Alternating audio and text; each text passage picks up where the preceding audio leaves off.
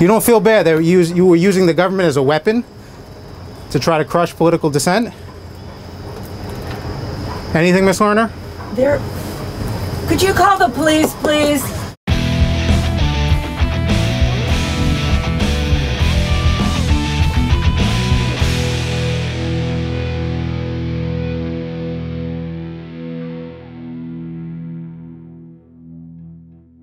Having since retired amidst ongoing IRS corruption, the disgraced bureaucrat Lois Lerner has been hiding out in her ritzy neighborhood outside Washington, D.C., reportedly enjoying a government pension of $100,000 a year. We caught up with Ms. Lerner and asked if she regretted going after conservative organizations. But she was so desperate not to answer any questions that she actually tried to bust into a neighbor's home, uninvited.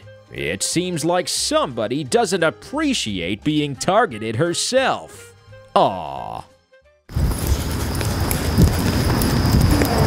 Chance to apologize, Miss Lerner. You didn't hesitate to target conservatives, but you're hesitating to speak. Why?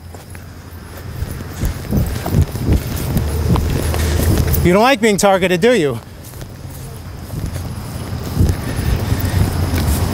Any idea where those missing emails are?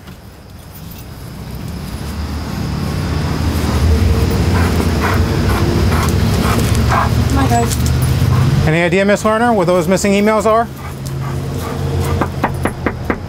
We have two years worth. Maybe just an apology. You you targeted conservative groups. I, I know. I kind of broke it. I mean, I could have surgery. Can you? I know. Yes, I know. You targeted conservative groups. Just an apology. So I'm sorry. I used my position as a government official to try to crack down and on political dissent. You don't feel bad that you, you were using the government as a weapon to try to crush political dissent? Anything, Miss Lerner? There. Could you call the police, please? Oh, you, you, Could you call the police? Thank you. you, you don't like being targeted. Doesn't feel good. Doesn't feel good, huh? But you targeted conservatives. Please. let Not even an apology. These guys are the press, and they are not leaving me alone. I just want to come in for a second. Oh, why, why should we leave you alone? Can I go in the garage? You were trying to use the IRS to crush political dissent. What? Thank you. You can see why many individuals think you're a disgrace to public service, right?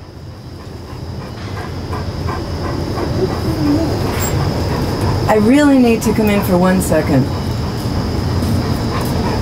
What are you doing here? These guys are leaving me, not leaving me alone. They're from the press. They're following me. I just want to go in your house for one second, please. What? I was talking to your wife. She's trying to get in your house. She doesn't want to answer I questions don't want her about. in the house. I know you. Uh, I, I would. I wouldn't blame you. I don't blame you. I wouldn't want her in my house either. She might bring the government after you. Any idea where those missing emails are? Are you hiding them? Nothing, huh? Are we, we gonna try another house?